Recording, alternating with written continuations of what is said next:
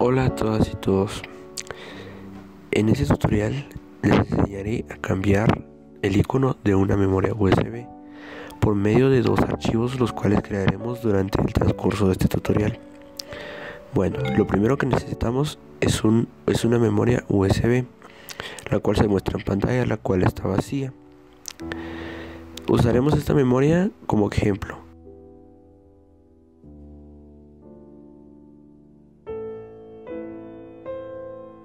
Muy bien, lo siguiente que necesitaremos será un archivo de texto nuevo.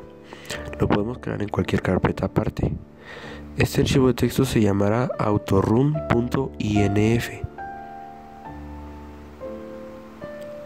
Nos saldrá una advertencia diciendo que si queremos cambiar la extensión del archivo, la aceptamos. Luego abriremos el archivo para poder editarlo. En él escribiremos los siguientes comandos. Dentro, de corchetes escribiremos autorun. Damos enter y escribimos icon igual nombre del archivo punto .ico. Es importante el punto .ico ya que este será el archivo que funcionará como imagen de la memoria. El nombre del archivo puede variar, eso depende de, de la imagen que seleccionaremos más adelante. Lo siguiente que necesitamos es una imagen. Puede ser de cualquier tipo, pero es necesario que tenga el fondo blanco.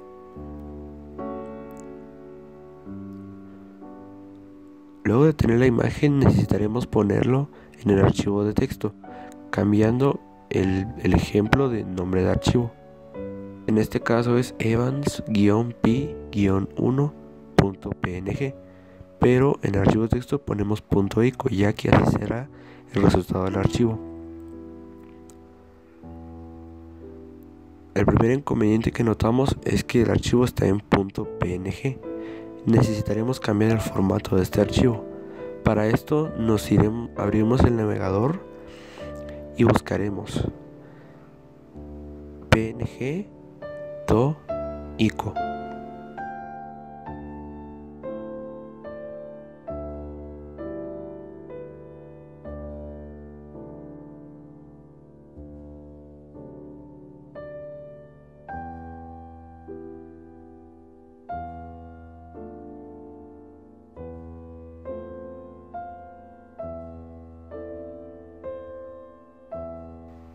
En esta página lo, siguiente que necesitaremos hacer será buscar el archivo el cual deseamos convertir. En mi caso el símbolo pi. Lo abrimos. El segundo paso es ver si necesitamos cortar la imagen. En mi caso no es necesario, así que nos saltaremos este paso. El tercer paso es definir la resolución con la que queremos el icono.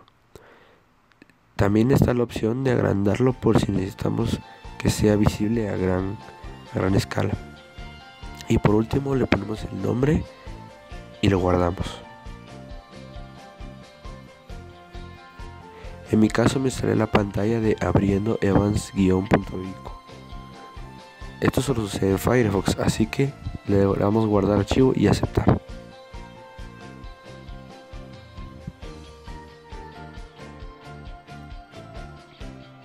Una vez descargado el archivo, lo ubicamos en la carpeta de descarga.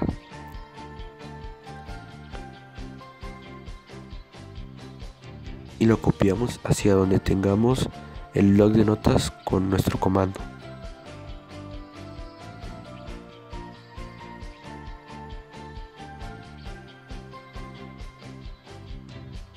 Ya que tenemos los dos archivos necesarios para poder poner el icono en nuestra memoria, eliminamos el otro archivo, el cual ya no nos servirá. Cuando tengamos los dos archivos, verificamos que el nombre sea igual que el archivo que acabamos de convertir.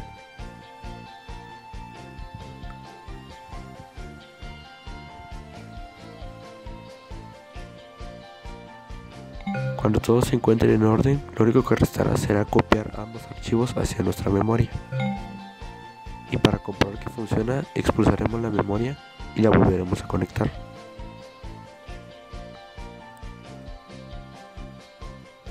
y efectivamente la imagen de nuestra memoria ha cambiado. En todo caso, si no les molesta que ambos archivos se encuentren siempre en su memoria, aquí habrá terminado el tutorial.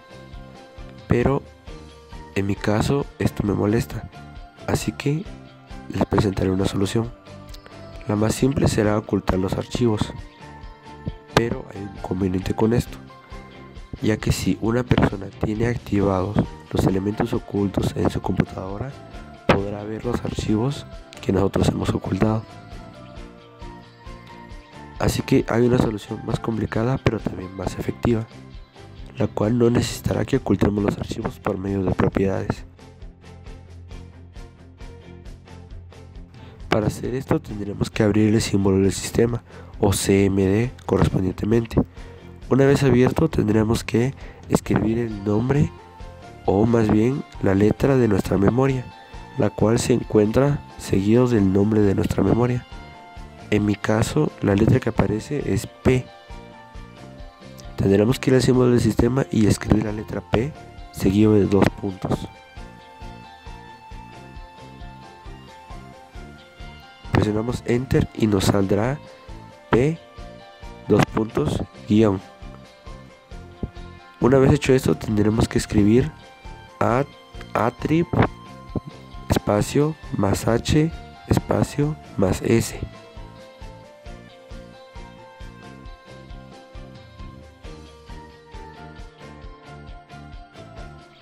Una vez escrito, le daremos Enter. Aparecerá un espacio en blanco y, volverá a aparecer la letra P. Esto significa que la acción se ha realizado correctamente. Podremos cerrar la ventana del símbolo del sistema y regresamos a nuestra memoria con los dos archivos. Notaremos que se han ocultado automáticamente, pero para que desaparezcan tendremos que actualizar. Y efectivamente han desaparecido y el icono sigue en nuestra memoria.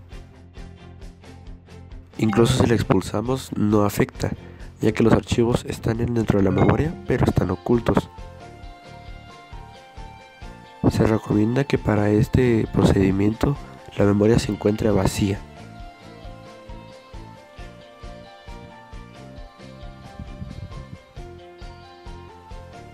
Muy bien, eso ha sido todo. Muchas gracias por ver este video tutorial. Nos vemos en la próxima.